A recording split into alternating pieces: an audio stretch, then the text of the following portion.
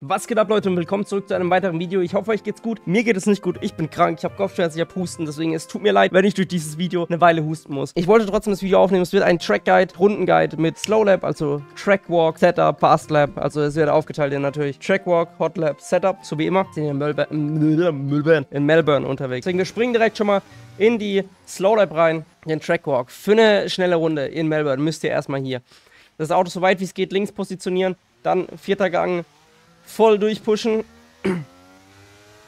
Maximal den Track mitnehmen für gutes Momentum auf dieser langen Geraden, um äh, euer Delta ein bisschen zu reduzieren. So, jetzt in Kurve 1. Wir schauen uns hier an. Diesen Punkt hier, okay? Dieses, wo vorne links mein Rad ist.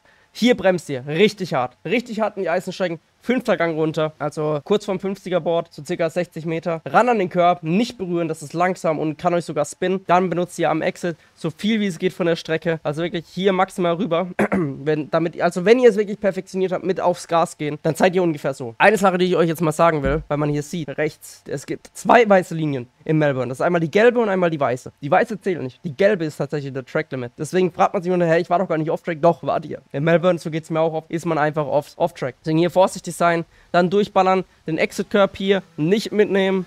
An dem hier, den hier wollt ihr nicht mitnehmen.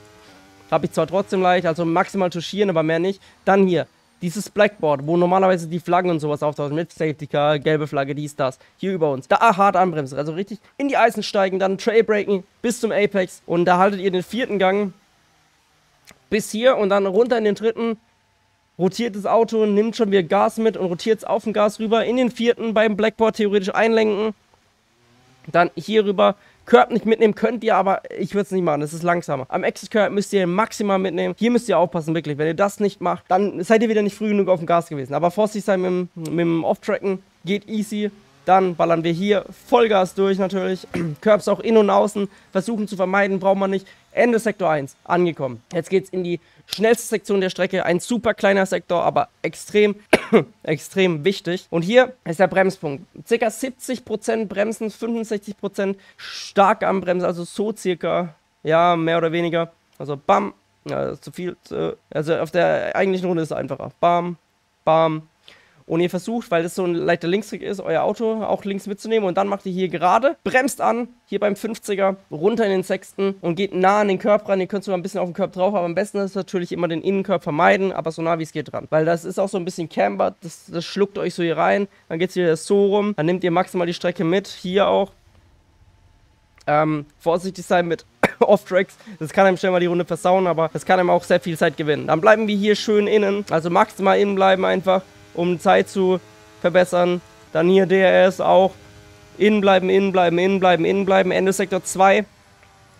Jetzt sind wir hier wieder beim Blackboard angekommen, ist die erste Referenz. Zweite Referenz ist hier, 50er, bisschen lüpfen. Ich weiß gar nicht mehr, ob man bremst, ich glaube nicht. Runter in den siebten Gang, wenn ihr müsst, in den sechsten, falls die RPM zu wenig ist. Aber normalerweise müsst ihr es nicht. Am Curb vorbei, nicht mehr schneiden. In den neuen F1 Games ist es nicht mehr schneller. Dann hier so weit wie es geht nach links positionieren. Es geht wahrscheinlich nicht optimal, weil ihr viel Speed aus der ersten Kurve mitnehmt.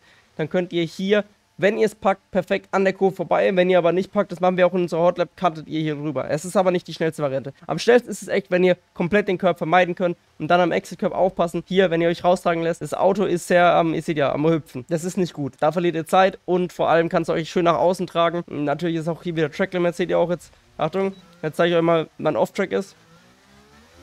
Oder ist es eigentlich die gelbe Linie? Okay, vielleicht da nicht mehr. Gut. Ähm, so.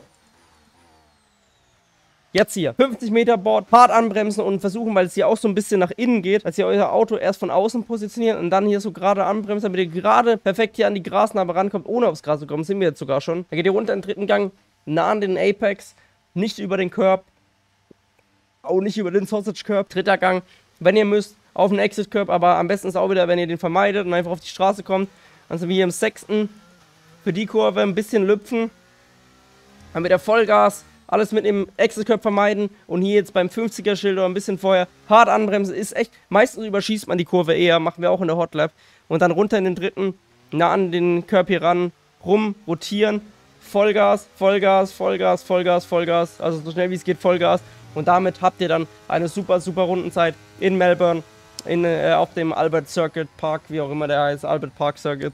Ähm, Und jetzt jumpen wir mal in die schnelle Runde rein und danach gibt es dann noch das Setup. So, begeben wir uns auf die Hotlap. Wir sind hier gerade schon auf einer, deswegen, ich mache hier nicht diese Technik, äh, diese Technik, die ich immer sage, mit viel Schwung holen, weil wir waren eben schon auf einer Hotlap. Wenn ich eine Hotlap beginnen würde, würde ich es machen. Hier haben wir jetzt eine 307. Jetzt fahren wir in die erste Kurve. Ich schaue wieder links, der Tarmac, zack.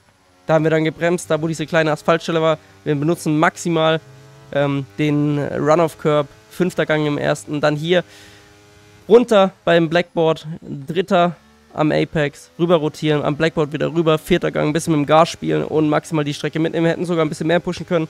Curb vermeiden haben wir nicht gemacht. Aber jetzt hier wieder beim 50er so circa, naja, wir haben sogar so 80, 90 Prozent gebremst und viel Schwung mitnehmen.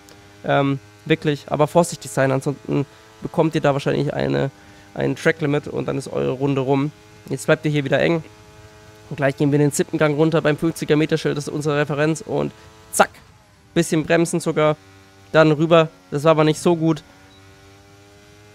Jetzt bleiben wir hier eng und positionieren unser Auto wieder gerade, wie ich schon erwähnt habe, in der Slow Lap. Dritter Gang auch wieder im Apex. Wir nutzen ein bisschen Außenkörper, ist nicht zu schlimm. Jetzt hier sechster Gang und wir orientieren uns am 50er Meter Board. Müssen wir ein bisschen früher eigentlich bremsen oder schneller auf 100% kommen und rotieren das Auto rum.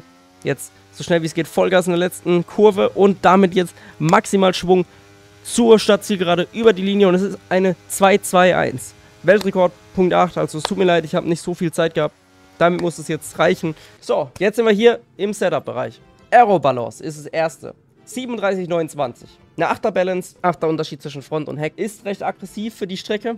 Man kann auch ein bisschen aggressiver gehen, wahrscheinlich auf 10 oder sogar höher, wenn man das Setup umbaut. Aber für dieses Setup würde ich sagen, wer sich wagt, noch ein bisschen höher. Natürlich, wer mehr fahren kann, mehr Topspeed, super. Aber für ein konstantes Feeling ist es eigentlich ganz gut. Und ich will die Setups auch so gestalten, dass davon E-Sports Leute was haben, die eher League Racing betreiben oder auch Leute, die einfach Karriere fahren wollen oder zum Spaß und einfach ein besseres Feeling haben wollen vom Auto. Okay, also 37, 29. Dann sind wir bei der Transmission. 50 hatte ich auf der kompletten Runde. Wenn ihr aus den Traktionszonen sowie Kurve 3 gerne 5, 55 benutzen wollt, könnt ihr gerne natürlich verstellen. Gar kein Problem. Das ist euch überlassen. Aber es ist eine sehr, sehr, sehr, sehr, sehr schnelle Strecke, wo viel Abtrieb erzeugt wird von diesen Autos.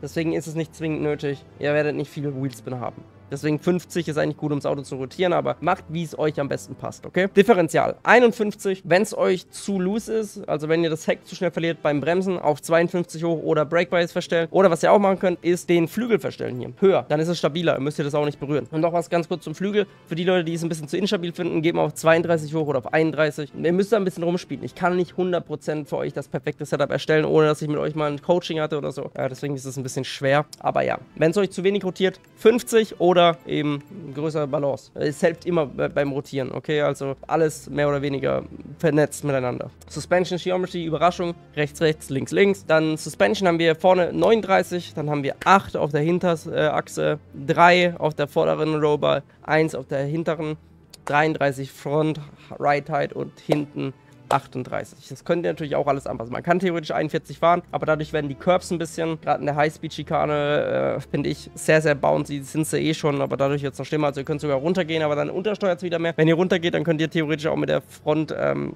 wieder höher gehen, weil ansonsten irgendwann setzt der Unterboden auf und dann erzeugt sich nicht mehr so viel Downforce. Es ist wirklich schwierig, die Balance zu finden. Deswegen haben wir hier 39, hinten dasselbe Spielchen, geht ihr höher, könnt ihr auch hier das machen, geht ihr niedriger, müsst ihr das machen. Es ist einfach über so ein Rumspielen und ein Feintunen, was euch besser passt für den Fahrstil. Anti-Rollbar kann man natürlich auch umstellen, mehr Front, mehr Untersteuern weniger, äh, mehr übersteuern, maximal übersteuern theoretisch. Aber wir halten das selber mal so, wie es ist. Ihr mal ausprobieren. Bisschen Feintunen könnt ihr natürlich auch und auch versuchen, dass ihr die Setups vielleicht mal versteht, einfach was umändern und gucken, ah, okay, jetzt verhält sich so, das ist eigentlich immer ganz gut, wenn man selbst mal eine Ahnung bekommt. Beim Bremsdruck 100, wie immer, oh Mann Gott, ey, tut mir echt leid. Ähm, Brake Bias haben wir 55, verstelle ich eigentlich nicht. 54 maximal in manchen Highspeed-Sektionen. Und bei dem Reifenpressure haben wir 5, äh, 22,5 auf, auf dem Vorderreifen und hinten 20,2. Also eigentlich war da auf der Hotlet so, aber ich finde das hier theoretisch besser und ihr könnt sogar wahrscheinlich Minimum fahren. Aber äh, so ist gut. So ist gut, deswegen versucht es mal aus. Wenn euch das Video gefallen hat, gerne ein Däumchen nach oben, abonnieren, Glocke an, wenn ihr neu seid kommentieren, wie sehr euch verbessert hat und ob ihr mehr davon sehen wollt. Und ich würde mich sehr freuen, wenn ihr auf Instagram ein Follow äh, da lassen könntet. Das würde mir sehr, sehr aushelfen. Deswegen, ich wünsche euch jetzt noch ein wunderschönes Rennwochenende und wir sehen uns im nächsten Video. Haut rein, euer Marcel. Peace.